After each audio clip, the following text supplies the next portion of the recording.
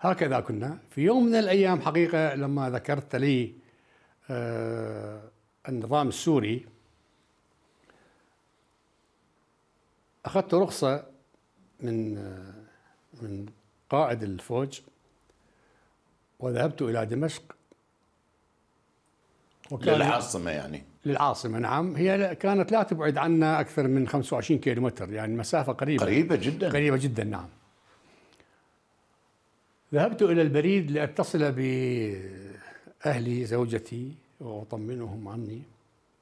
وهناك حصلت هذه المشكلة آه، أن أنني سمعت أن بعض المسؤولين في سوريا في ذلك الوقت وكان القائد رئيس الجمهورية كان حافظ الأسد معروف. فقلت لهم فقلت للشباب سوريين هناك في في في البريد بعد أن طلبت الخط إلى بغداد. قلت لهم إنها خيانة.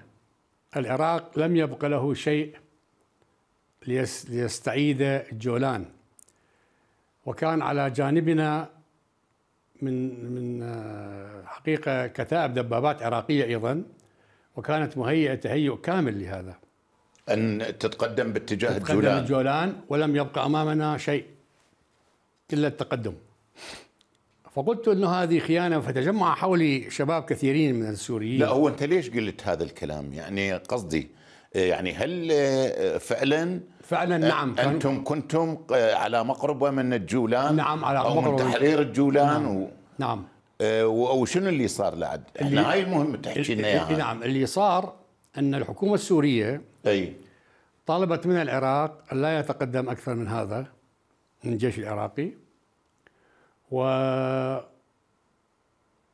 ولوحت بأنها ستطلب من الجيش العراقي الانسحاب والعودة إلى العراق خوفا أيضا كان حقيقة خوفا من الجيش العراقي. يعني شنو تفسير إنه القيادة السورية آه، طلبت من العراق آنذاك أن آه، يتوقف الجيش العراقي؟ والله أظن أظن إنها كانت اتفاقية بينهم وبين الصهاينة.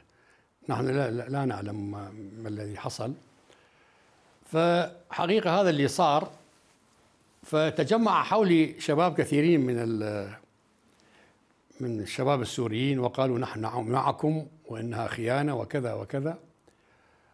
ثم توجه اثنان أظنهما كانوا من المخابرات السورية ففضوا هذا التجمع الذي جعلته حولي من الشباب وهم يؤيدون أنها خيانة.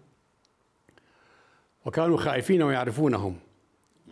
فناقشوني وقالوا لي يا أخي ما لك الحق أن أن تصرح تتحدث. هكذا كذا وأنت تظلم حكومتنا وتظلم كذا قلت لهم أنا لا أظلم أحدا. كل من يوقف القتال ويتخلى عن الجولان أعتبره خائنا. فقال لي واحد منهم أحدهم آه، ما الذي آه، تريد في هذا المكان. قلت لهم أنا أريد أن أتصل ببغداد بأهلي.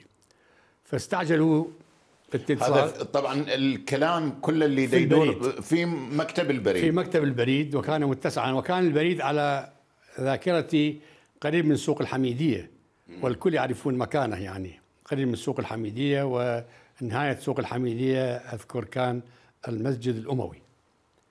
على كل حال اتصلت بأهلي وكسبت كسبين إنني قلت كلمة الحق أمام إخواننا السوريين ووجدت أن الشعب السوري والشباب السوري متحمس كما تحمس الجيش العراقي ويبدو آه، كان عندهم وعي وعارفين نعم نعم نعم ما نعم. يجري على الجبهة يعني. يعلمون نعم. مم.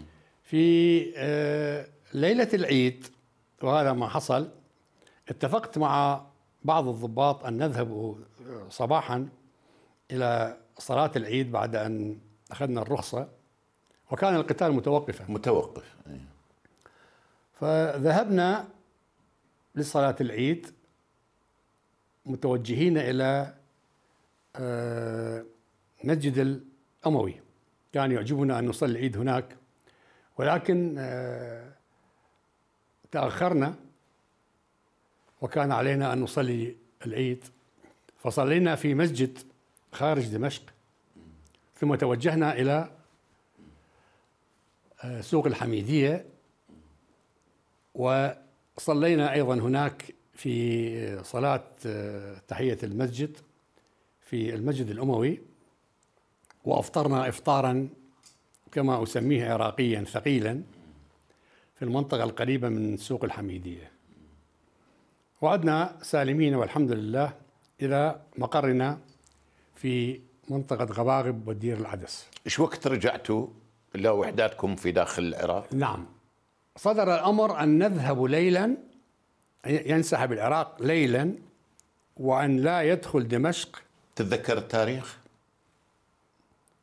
والله على ما أظن أنه آه، قريب آه، نهاية شهر 12 بهذا الشكل يعني 73 لا أعرف بالضبط التاريخ يعني اليوم.